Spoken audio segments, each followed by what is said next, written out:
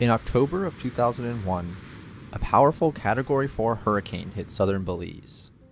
For a tiny country in Central America, this storm wasn't likely to make global headlines.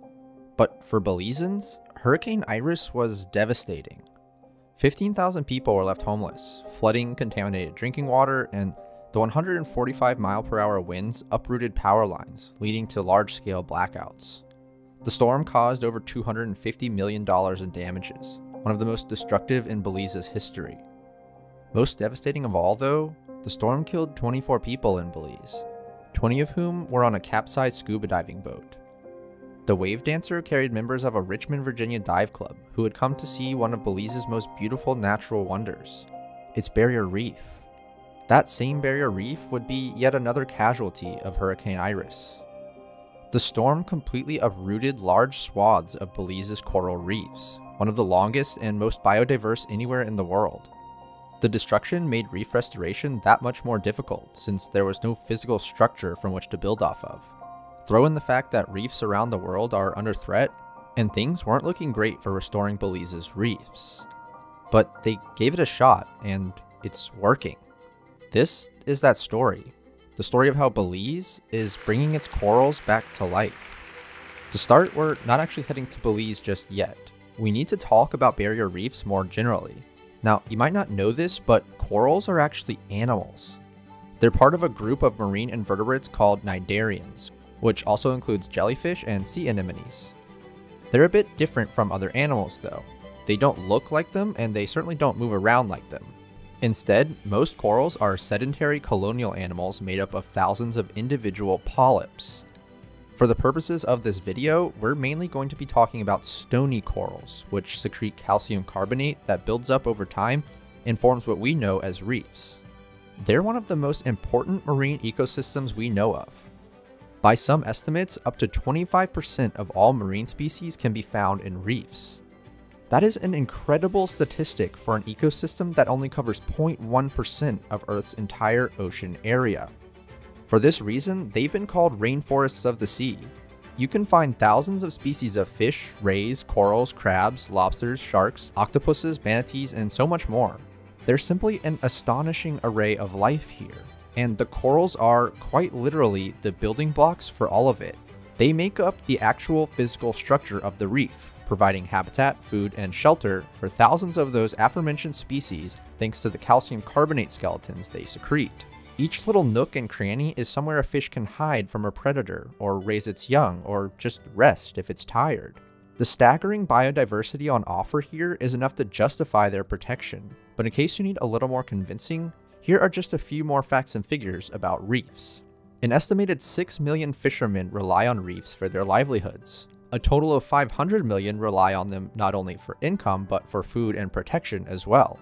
The economic value of the world's reefs is estimated to be in the tens of billions of dollars. They're on the forefront of medical research and provide protection from severe weather since they help dissipate powerful waves and storm surges. So it's pretty clear that reefs are important, vitally important to humans and marine life alike, but they're also severely threatened. A multitude of factors are combining to put coral reefs at complete risk of extinction. To start off with, ocean acidification, pollution, and rising temperatures are tearing away at a vital link in the coral life cycle. See, what gives corals their vibrant diversity of colors and appearances isn't actually the corals themselves. It's a type of algae called zooxanthellae, which they have a symbiotic relationship with. Their relationship works like this. Corals provide a home for the algae, and through their waste products, supply the algae with the nutrients they need to photosynthesize. In return, the algae provide the corals with oxygen, remove their waste products, and supply the corals with the nutrients they need to grow. They're basically the world's greatest roommates. The algae take out the trash and cook dinner, and the corals pay the rent and put a roof over everyone's head. A pretty good arrangement. Except those factors we talked about acidification, pollution, rising temperature they put a serious strain on this relationship. If conditions get too harsh, corals will actually expel their algal friends, kicking them out of the apartment entirely. When this happens, the translucent coral tissue means that all you can see is the ghostly white skeleton underneath.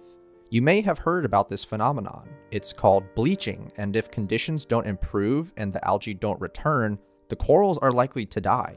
They need those algae to survive. The Caribbean alone has lost 80% of its coral reefs in the last few decades. And if that weren't bad enough, corals are also under threat from unchecked shoreline development, especially mangrove removal, and a mysterious new illness called stony coral tissue loss disease. But there is another threat, one that is far more destructive, albeit less frequent. This is where we return to Belize and Hurricane Iris. On that October day in 2001, Iris's destruction wasn't limited to land. Its power completely uprooted and destroyed large amounts of coral in Belize's Barrier Reef Reserve System. That system is part of the larger Mesoamerican Barrier Reef System, which stretches over 500 miles from Mexico to Honduras, the second longest in the world after the Great Barrier Reef in Australia.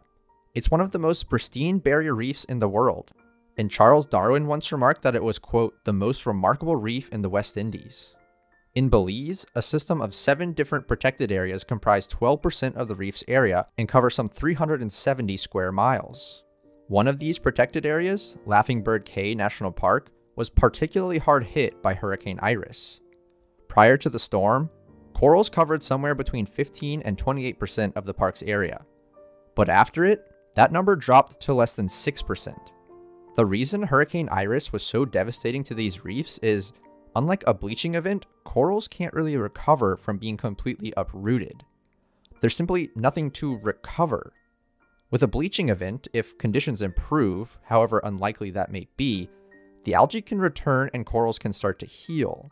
But with something like this, corals would have to start from scratch on a process that can take thousands of years to fully form. Of course, we could always give them a little nudge in the right direction. And that's exactly what Lisa Carne, a marine biologist based in Belize, did. Her organization, Fragments of Hope, basically kickstarts coral reef formation by transplanting young corals onto pre-made structures like rebar grids. And when they're ready for the big leagues, she transfers them over to the actual reef. She makes sure to place them close enough together so that they might cross-fertilize each other, increasing their overall genetic diversity and resilience. In the face of climate change, Carne also uses more stress-tolerant corals to increase the odds of survival even further. But what started as a small research project has now exploded into a full-blown grassroots movement, and has even resulted in new protections from the Belizean government. Up to 50% of Belizeans rely on the reef for fishing or tourism income. So when it was damaged in Hurricane Iris, it was no coincidence that they jumped at the opportunity to try and save it. In a 2012 referendum, 96% of Belizeans voted to protect and help restore the reef. 70 Belizeans are now certified in coral restoration thanks to a training course developed by Fragments of Hope. Restoration jobs are yet another way local Belizeans are benefiting from their reef. To date, locals have helped to replant 85,000 corals in Belize. 89% of them have survived more than 14 years, and coral cover in Laughing Bird Caye has risen from 6% of its area to over 50%. Belize as a whole has increased its coral cover as well, from around 11% of the seafloor in 2006 to around 17% now. On the government side of things, in 2016 they adopted a comprehensive management plan for the Barrier Reef Reserve System. And in 2017, they announced an unprecedented ban on all offshore oil exploration in Belize's territorial waters. They've also pledged to increase protections for Belize's coastal mangroves and more closely regulate onshore development.